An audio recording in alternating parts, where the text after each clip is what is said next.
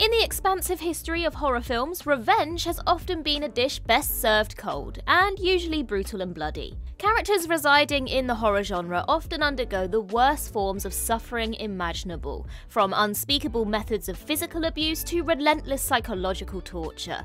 As such, revenge against the perpetrators of these abhorrent methods of persecution is often the sweetest type of retaliation imaginable. Now, we do already have a video covering this topic, so be sure to check that one out. But with that in mind, I'm Ellie with What Culture here with 10 more horror movie victims who got the best revenge. Number 10. Renfield in Renfield. While R.M. Renfield has always been Dracula's most loyal minion, 2023's Renfield transforms his role into that of the Count's whipping boy. Tasked with selecting victims for consumption and mercilessly abused by the ungrateful Prince of Darkness, Nicholas Hoult's character unsurprisingly becomes depressed and disillusioned with his nightmarish occupation. Renfield attempts to join a support group for people in codependent relationships, but Nicolas Cage's vampire won't even allow him to have have that. As soon as Dracula discovers the group, he proceeds to brutally murder them before his familiar's very eyes. This proves to be the final straw for Hoult's protagonist. After eventually capturing Dracula in a magic circle, Renfield and Awkwafina's Rebecca utilize an Aladdin's cave of murderous implements to deal out a healthy portion of just desserts. Unfortunately for the Count, his captors don't actually know what will kill him for good, meaning that nothing is off the table. Axes, maces, and chainsaws all feature amid spurts of gore, but that's just the entree. The duo gleefully mix what's left of the Count with cement and holy water, using ice trays to turn the concurrent combination into nice, manageable portions. Renfield and Rebecca then proceed to unceremoniously dump Dracula's remains down a drain. There's overkill, and then there's whatever this is, but it's undeniably a spectacular instance of payback nonetheless. Number 9. Pat and Amber in Green Room. Green Room follows the harrowing tale of the Ain't Rights, a punk band beset upon by murderous neo Nazis after witnessing a young woman's murder. Barricaded in the film's titular Green Room, it's hard to overstate the level of suffering these musicians endure over 95 minutes. Their tormentors' use of fighting dogs is a particularly brutal touch, producing predictably stomach churning on screen results. Led by Sir Patrick Stewart's calculating Darcy, the skinheads are ruthless in their efforts to put the band six feet under. The only member of the Ain't Rights left standing by the movie's ending is bassist Pat, played in a magnificent turn by the late Anton Yelchin. At this point in proceedings, Pat's sole surviving ally is Imogen Poots Amber, a friend of the initial murder victim. The sheer amount of trauma the unfortunate pair have undergone before the climactic sequence unfolds makes their revenge all the more delicious. As he arranges the bodies of the dead band members on his property to give the illusion of trespassing gone wrong, Darcy comes face to face with the recently escaped duo. Stewart's villain has just enough time to realise that his intricate plans have all been for naught, and a final incredible incredulous stare of disbelief to boot before being gunned down. Number 8. Erin Harson in You're Next. Betrayal is a particularly intimate concept, never more so than when one is double crossed by their significant other. 2011's You're Next sees the Davison family reunion go horrifically wrong after the gathering is inexplicably set upon by a group of masked killers. Protagonist Erin Harson finds herself amongst these nightmarish surroundings seemingly by accident, having been invited along at the behest of her boyfriend Crispin. In a shocking twist, Crispin and his brother Felix are eventually unmasked as the villains behind proceedings. The duo engineered the abhorrent attack in an attempt to seize their parents' vast fortune, only to be undone by the unlikeliest of faces. Erin is duly revealed to have grown up in a survivalist compound, cultivating a penchant for guerrilla warfare as a result. Accordingly, the unfortunate killers find themselves being picked off one at a time by this diminutive woman. After dispatching Felix with the help of a blender, yep, you you heard me correctly. Erin answers his phone to hear her partner's voice confirming his complicity in the appalling events. Coming face to face with her boyfriend soon after, Erin contemptuously listens to Crispin's feeble excuses for his heinous actions. Thankfully, Davison's Weasley attempts at justification fall on deaf ears. After Crispin attempts to buy her silence, his vengeful partner impales him by driving a screwdriver through his throat. Number 7. Goreng in the platform. The level of satisfaction derived from this particular iteration of cinematic vengeance might be questionable, but it's poetic justice at its gory best. 2019 sci-fi horror The Platform depicts a dystopian reality featuring a vertical self-management system, where the inhabitants of an enormous tower block are assigned two to a floor. These unfortunate humans are randomly allocated to a new level on a monthly basis. Their only source of sustenance is an enormous slab that descends through the building carrying an enormous banquet,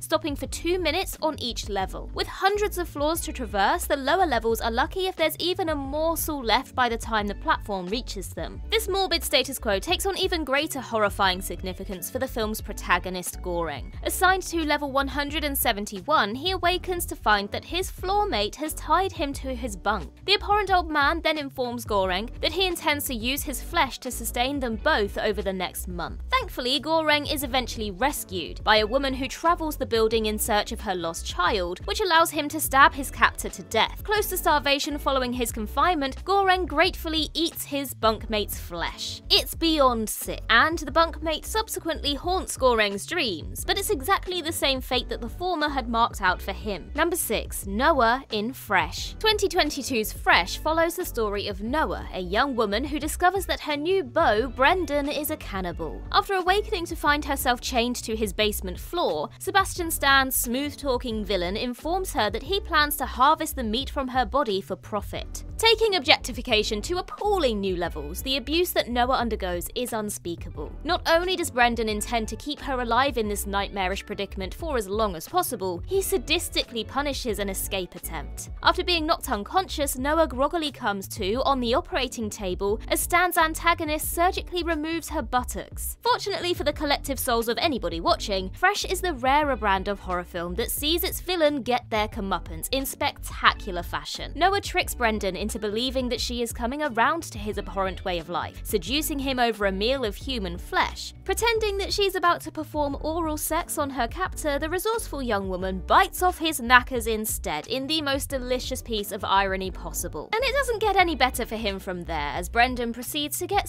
seven shades of doo-doo kicked out of him by Edgar Jones's protagonist and other female escapees from his basement. Number 5. Red Miller in Mandy 2018's hallucinogenic horror Mandy sees Nicolas Cage take on the role of Red Miller, a lumberjack whose girlfriend is brutally murdered by a biker gang of demonic cannibals, the Black Skulls. Restrained and wounded, Miller can do nothing but watch in anguish as his beloved partner Mandy is hung up in a sleeping bag and doused with gasoline. The gang laugh sadistically as they burn her alive before Red's very eyes. Unfortunately for the bikers, Nicolas Cage ain't the type to take that sort of thing lying down. After taking a moment to imbibe a bottle of vodka and shriek with anguish, Red is ready for action. Arming himself with a crossbow and an improvised battle axe, the grief-stricken Miller butchers the bikers before moving on to the cult that hired them, accidentally consuming an industrial amount of psychedelic drugs along the way. Despite tripping his balls off the entire time, our hero annihilates the children of the New Dawn with all the restraint of a grizzly bear ripping a salmon apart. Eventually coming face to face with the man who ordered Mandy's death, Red throws a severed cultist's head at him before crushing his skull and joyously setting their headquarters ablaze. The lesson to be learned here? Do not mess with Nicolas Cage. Number 4. Kim Soo Hyun in I Saw the Devil. While I Saw the Devil may operate primarily as a macabre thriller as opposed to a fully fledged horror, the brand of revenge on display in 2010's South Korean offering would put the majority of fright flicks to shame. An agent in Korea's National Intelligence Service, Kim Soo Hyun sees his world turned upside down after his pregnant wife is brutally murdered by a serial killer. The killer soon discovers what a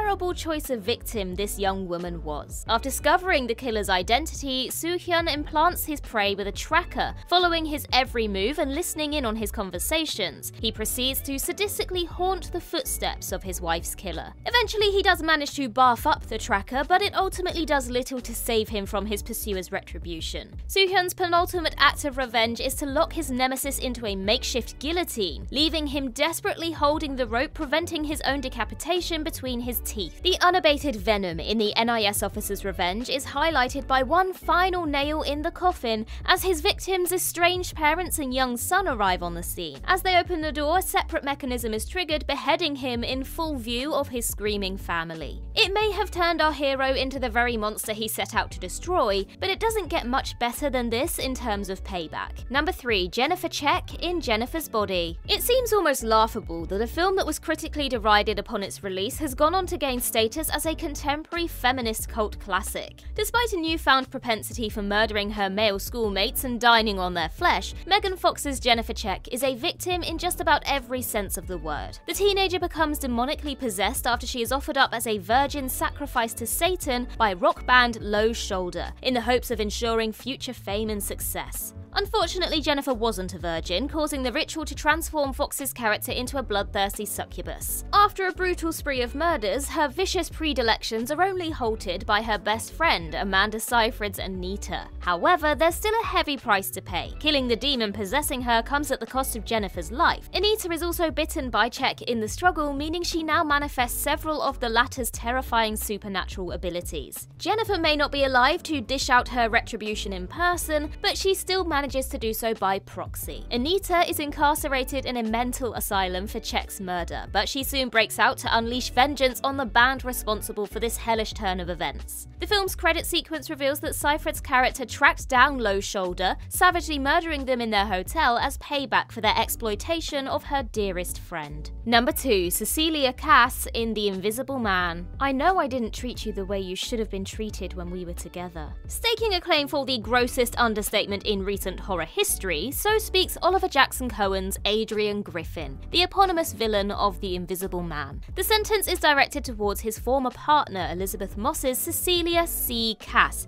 in the 2020 horror's climactic sequence. C initially left Adrian after a campaign of violent abuse from her former paramour. To say that Adrian didn't take this well would be like saying you might get chilly if you were locked in a cryogenic pod for a decade. An affluent engineer, Adrian fakes his suicide before utilizing a high-tech suit capable of rendering him invisible to mete out his retribution. Jackson Cohen's villain stalks and torments his former partner like a vindictive poltergeist, before framing C for her sister Emily's murder. Adrian had also earlier tampered with Cecilia's birth control, impregnating Moss's protagonist with his monstrous offspring. Thankfully, he gets his comeuppance shortly after his patronizing soundbite. Having framed his brother for his crimes, the exonerated Griffin has his throat slit at his own dinner table by Kass wearing wearing another suit. In a delicious stroke of irony, he bleeds out in the same manner that he murdered Emily. Feigning horror only whilst in view of Adrian's CCTV, Cecilia gleefully watches her abuser bleed out, mockingly echoing his earlier taunt. Surprise!